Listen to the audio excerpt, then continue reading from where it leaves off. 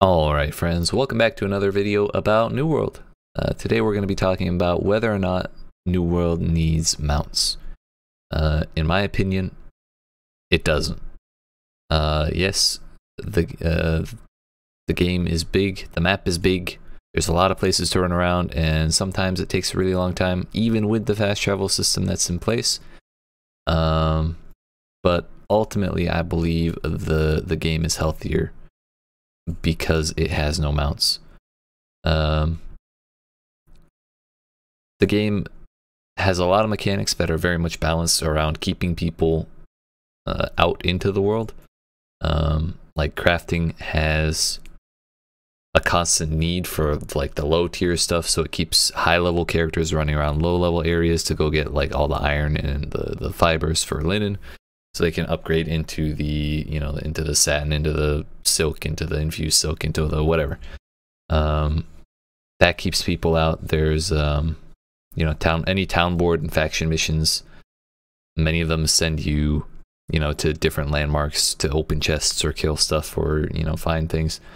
Um, you know you got to run to the dungeons uh, but ultimately there's there's always a reason to go out and you know explore, see the world, and and just do stuff out there.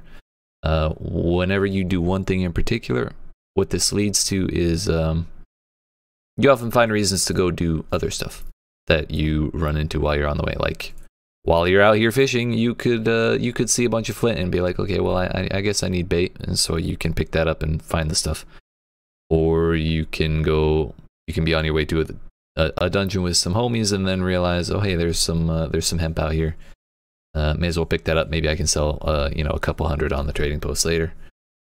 Um, maybe it won't sell for much because the economy is what it is, but you know that's a separate issue entirely. Uh, there's also the corruption portal scattered around that people use to farm XP when they're not max level, and Azoth. It's actually really good for Azoth. If you, if you need any of that blue porty lube stuff, very good to go close those those portals on the map. Um, but yeah, you you can always just like find stuff that you weren't ever really intending to interact with while you're going to do whatever it is you are intending to interact with, and I I just think that's a nice little um, detail, a, a nice thing that the game that the game encourages by letting you run or making you run everywhere.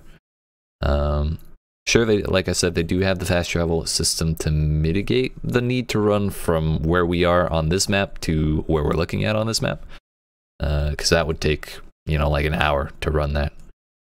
But uh, one advantage of that, I think, is that when you are somewhere so far from civilization, like you really feel like you're you're isolated, you're remote, you're far from from civilization. Um, it's kind of hard to put your finger on it to put my finger on it, but you know, right in, this footage that is playing behind me, um, I'm fishing at the the very south end of Cutlass Key, and there is there is a fast travel point not far from there, but it really really feels like you're just way out in the sticks, like uh, it it just feels cool.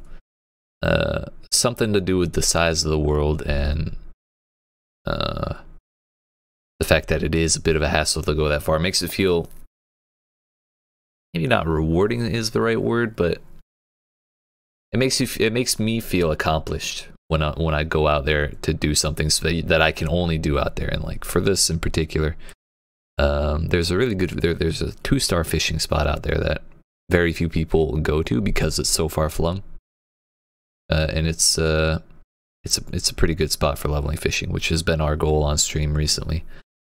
Um, so yeah, one thing that I think mounting would one one problem with having a mount is when you want to get on a mount in any of these games or any other MMO, you you know you sit there, you channel for a couple seconds, you get on your mount, and you run away. Uh, whenever I'm going anywhere in the game in its current state, it's it's a hassle. If it's a hassle for me to stop and pick things up simply because I don't like hitting the auto run button a bunch of times. So uh, if I if I had to not only hit the button to remount, but also wait a couple seconds and then start running, um, you know, I probably would pick up way less stuff. But I, I know that's petty. But how many times, uh, you know, you stop and pick stuff up with all this running? Uh, it, it would get a little annoying really fast. So that's that's one one reason that I don't mind not having them. Um, I think with if you have mounts in conjunction with the fast travel system as it exists, um, the world will feel a lot less small, or it'll it'll feel a lot more small. Excuse me. It'll uh, would just be the added movement speed will make it so much easier to get all to all of these wide areas that are uh, far from every from anything else in particular that uh, you know it just won't feel as rewarding. And um, in particular when you run yourself out of Azoth uh, the the currency you use to teleport it'll feel a lot less uh, punishing. And I know it's uh, it's it, may be a bad thing to think of a a mechanic and try and make it punishing, but let's say it incentivizes good Azoth management, and uh, mounting would just kind of mitigate that. And if if they say they add flying mounts and stuff that goes like three or five, three to five hundred percent faster than a player runs, then ultimately Azoth will just become a non-issue.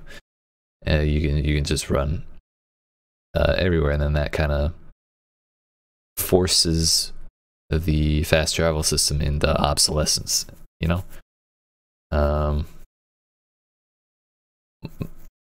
but yeah, most most of these reasons for now have been kind of opinion based, and uh, ultimately you're free to agree or disagree.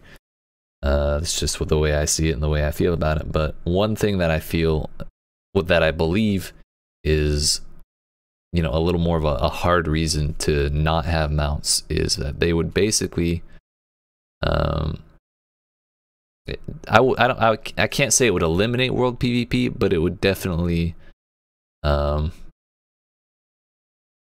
change P, world PvP.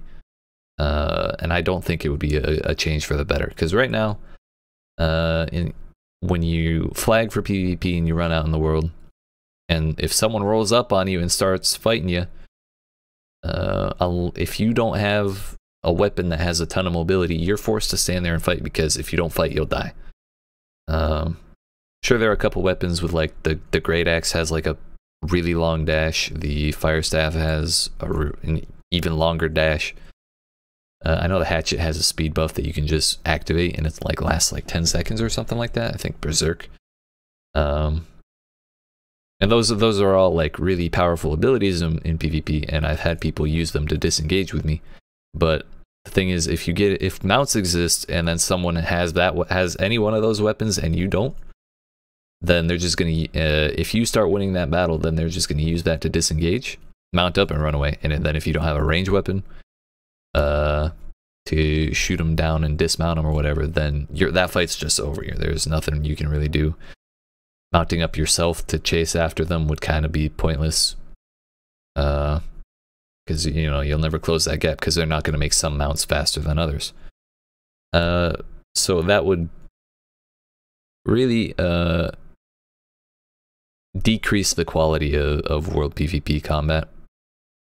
And uh, I know that's not everyone's cup of tea, but that was it was a complaint I heard a lot in particular while I was playing World of Warcraft. Um, you know, after they added Dungeon Finder, Raid Finder, all, all these queues and stuff, everyone everyone was just sitting in cities, and a lot of people a lot of people complained uh, about the fact that World PvP just didn't exist anymore at that time, and uh, a lot of people were wishing for the the good old days of uh, classic WoW, and you know, just the fact that you could run out run into people out in the world uh, fight them, see them doing well, see them doing stuff, fight them if they're flagged, uh, ultimately having people out in the world just makes the world feel more alive.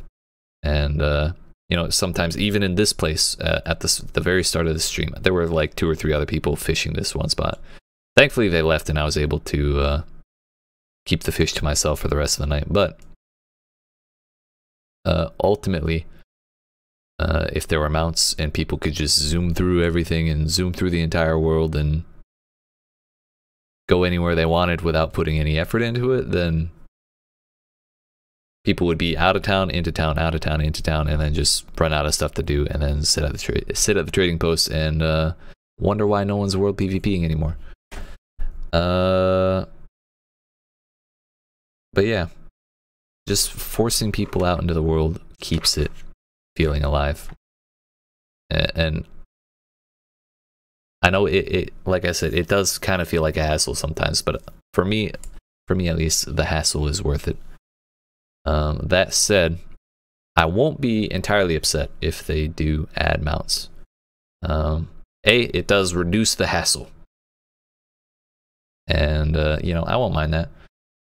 Uh, I'll just feel a little sad for the loss of, you know, a bit of the scale of the world. But, um, the the main reason I would be less upset about mounts is in any MMO I've ever played, I've been like a massive collector of those things. I had like a hundred, or I, I had um, I had like hundreds of mounts in World of Warcraft. I don't remember the exact number, but I remember it was it was a lot.